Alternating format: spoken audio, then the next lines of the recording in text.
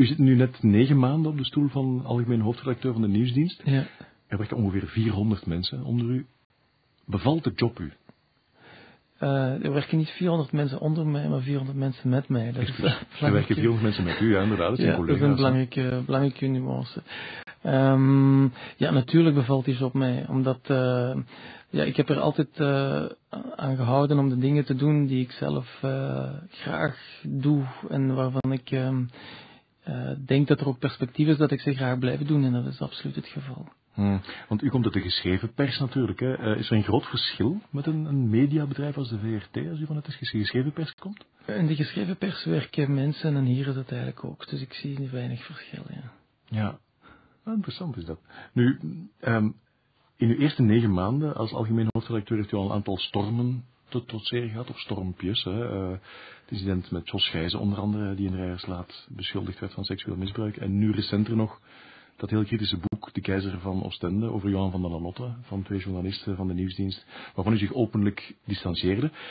Enfin, u verbood journalisten vanaf toen ook nog uh, om onderzoeksjournalistiek voor het derde te doen. Dat soort maatregelen maakt u niet populair. Zat u dan lang stil bij alle kritiek die u heeft gekregen? Er is wat kritiek gekomen toen toch? Oh, ik weet niet of die maatregelen mij, mij niet populair maken. Nu, maatregelen neem je niet om populair of, of te zijn of niet te zijn. Je moet vooral de juiste maatregelen nemen en daar heel consequent in zijn. En ik denk dat dat uh, op langere termijn ook altijd loont. Hmm. Nu, uh, zo, um, ja, een boot in de storm lijkt altijd stormachtiger als je er naar kijkt dan als je erin zit, want dan is eigenlijk alles redelijk goed onder controle. Ja, dus die kritiek doet u dan eigenlijk niets, als ik mag samenvatten. God, het hoort erbij. Je weet dat dat, uh, dat, dat tijdelijk is. En uh, ja, dat, dat, dat, is dan maar zo. Maar ik uh, laat er mijn slaap niet voor, nee. nee. Kan u mij dat nu even leren, hoe je dat doet? dat zou ik graag wel eens willen leren, zo, zo, zo onthecht tegenover kritiek staan. Oh, ik denk dat je, het in, dat je het altijd moet relativeren en een perspectief moet, moet proberen te zien. En dan, ja, dan, is het, dan is het wat het is en ook niet belangrijker dan dat. -huh. Is dit de moeilijkste job die u al ooit gedaan heeft? Nee, dat denk ik niet. Nee. Want u heeft het ooit met een kolkende rivier vergeleken, hè, dit, Ja. dit, dit werk. En uh, achter elke hoek kan een nieuwe rots opduiken. Heerlijk, stond er toen ook bij in, dat, Ja. uh, in het interview. U zit echt te wachten, de, de spanning die, die telt heel erg mee dan. Ja, dat onverwachte, dat is natuurlijk wel, wel leuk. Um, ja, je hebt uh, mensen die graag op een kano varen op een, op een kanaal en anderen doen dat liever op een wilde rivier. Het is, heeft iets karakterieels waarschijnlijk. Um, dus het kanaal is misschien voor later, maar niet voor nu. Niet voor nu, dus nu nog de wilde rivier. En, en we zitten eigenlijk op een wilde rivier in het medialandschap. En er komen rotsen aan. De concurrentie 4 gaat uh, elke dag uitpakken met een Actua-show in het najaar. Zou je niet graag een vlieg op de muur zijn bij vergaderingen bij Woestijnvis nu, om te zien hoe dat er allemaal juist gaat uitzien? Nee, ik vind vliegen niet zo'n aangename dier eigenlijk.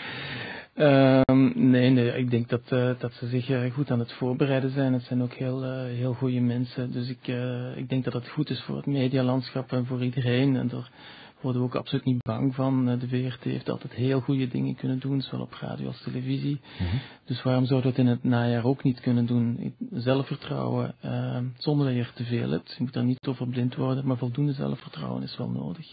Ja, want dat, dat zelfvertrouwen is natuurlijk wel, dat kan verblinden, hè, want wij zijn het vlaggenschip in Medialand, dat doen het heel goed in de cijfers.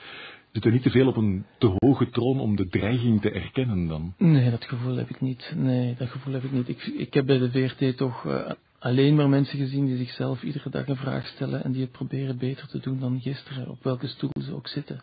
En dat vind ik een heel juiste attitude om, om wat dan ook maar in de toekomst te kunnen aangaan. Mm-hmm. Wat kan er volgens u nog beter bij de huidige nieuwsredactie bij ons? Oh, dat gaat vooral heel veel goed. Mm-hmm. Uh, ja, wat kan er nog beter? Uh, ja, een beetje wat ik net zei, van uh, iedere dag is anders en je kunt dus niet zeggen van dit of dat moet absoluut beter, maar je moet vooral beter dingen proberen te doen die je gisteren gedaan hebt. Vanuit die uh, attitude, iedere dag, klein, iedere dag kleine dingen oppikken die je, die je standaardaags beter kunt, uh, kunt doen. Um, dus dat gaat niet noodzakelijk om grote lijnen, omdat die zelfbevraging er al is.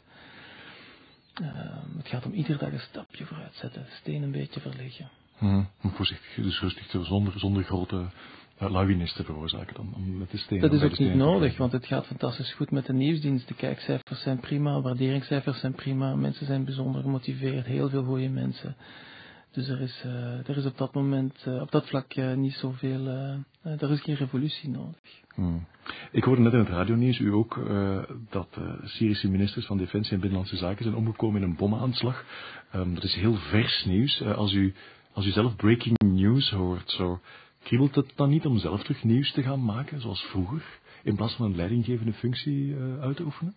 Niet meer. Dat, doe je natuurlijk een aantal jaren over om er overheen te geraken. Maar ik weet nu dat er andere mensen zijn die dat beter kunnen dan ik zelf. Dus uh, dat gevoel is weg.